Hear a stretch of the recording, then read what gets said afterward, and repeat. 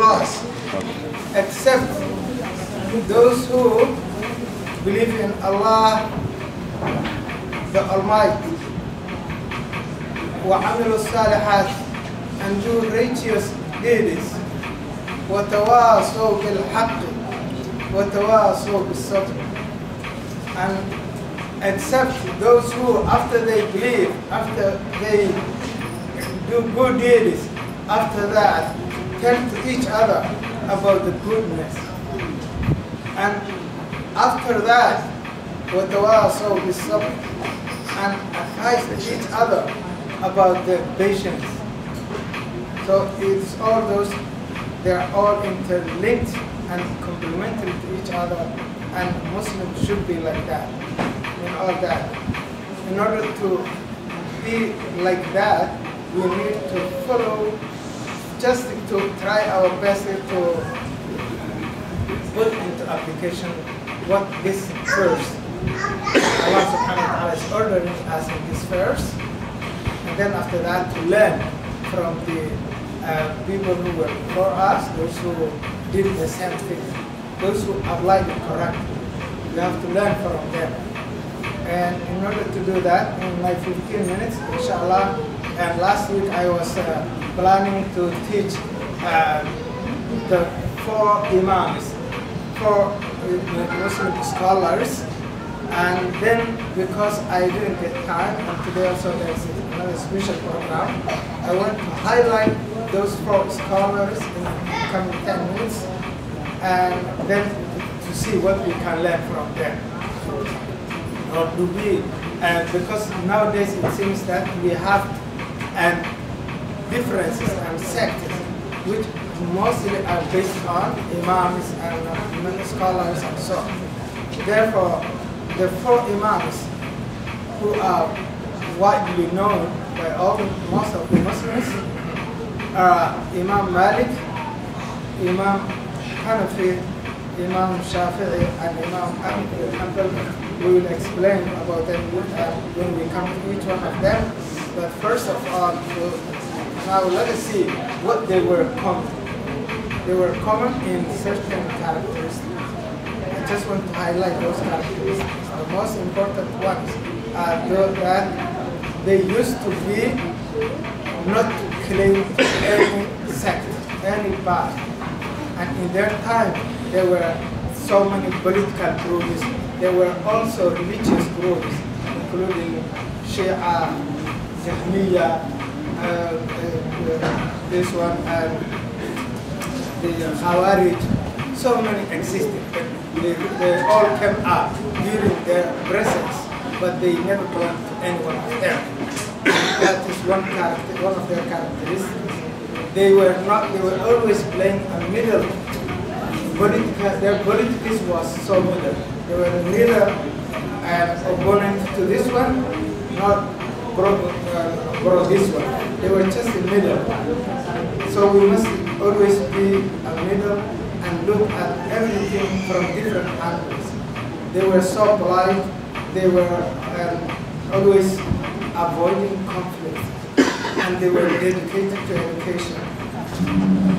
One of the character, one of the uh, qualities that they all have together was how they and how they teach.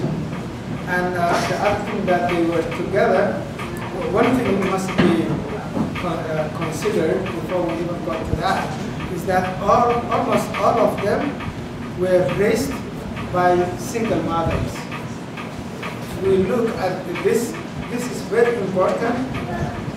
All those imams that we know today, they came from very poor families and they were raised by single mothers. So that's one lesson. The other lesson is that they started uh, being so eager to learn from childhood and they were very much interested in education and they were full-time students all the time. They sincerely and thoroughly took all their life to study even when they were teaching. And when they were learning, and even when they were teaching, they always used to pay full attention to different disciplines, to look at every uh, um, ruling or every issue from different parts, different areas, different angles. And they were learning whatever is related to the Islamic jurisprudence such as language, cultures, and all that, so that they are familiar with everything. And all of them, they were common in, first of all, to recognize each other, to respect each other, to cooperate each other. That's their commonality.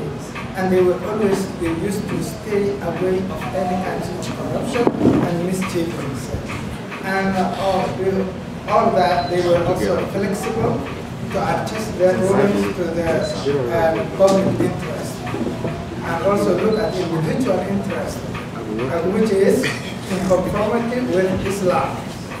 And you, they, all, all of them, they were common in one statement, which must be paid full attention to. It is that every one of them said, if you see my fatwa, my judgment, becoming against one Quranic intention or authentic sunnah, throw away, throw it at the wall, throw it from the window, forget it. So do not be still to my decision when you get the truth from the main Islamic sources.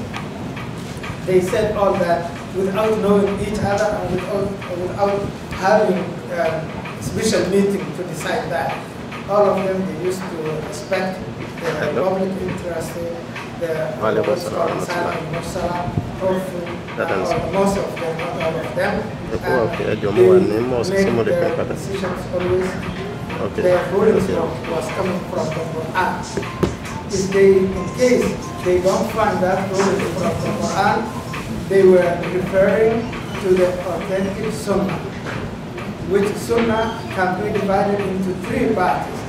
Sunnah of qawliya or fa'liya. So sunnah uh, when it comes to statement, giving a statement. And when it is practiced, fa'liya or amaliya. And the other one is qawliya, saying, like the hadith. And the Qawli Fi'liya uh, is what the Prophet was doing. He did this and this and this. That is an action. The other one is Taqrir. Is that is someone says something and he just he don't he do not prohibit it. He just kept quiet. That means approval. And all that when they look all those situations, it's also to consider their timing that uh, the first one was born when the date, the calendar of Hijri was 93. Or it is not yet clear whether he was born in 93, 94, up to 98 and that is in conformity with the Miladi uh, 179. And Hanafi and Shafi were born uh, when the Hijri was 150 and uh, 151. While Ham- uh, bin Hanbal, the last one, was born 19 164. And so all of them were in the Miladi calendar from 179 all the way to 855, and the history is 93 up to 160, 240. So in all that, uh, the Milad and Hijri, I have to uh, also express those two. The Milad, Milad calendar, the calendar that Almost two hours. we widely use today, that is 2014. Because Milad is Arabic word, is when Jesus peace be upon him was born. So it is based on the birth date of Jesus. That's why it's called Milad. Hijri is based on the migration of Prophet from Makkah to Medina. Therefore, it is called Hijri. And all that, so we have to know that uh, in, in all those, we can learn that Muslims should be Muslim.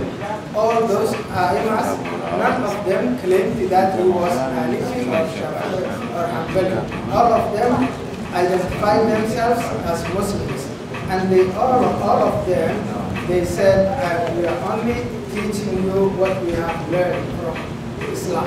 And you are Muslims. In order to be Muslims, you should apply on that. So uh, the conclusion, inshallah, I will uh, explain each one of them in a particular session. And, and today I just want to highlight that all those imams were one, were a lot of than teachers who were teaching, having their own schools, and the students learned from them, and all of them were helping each other each other so that uh, Islam has no sectors, no divisions, no cultures. All Muslims are one. So that is the clear truth. Jazakumullah khairan. Wa alaikum assalam wa rahmatullah.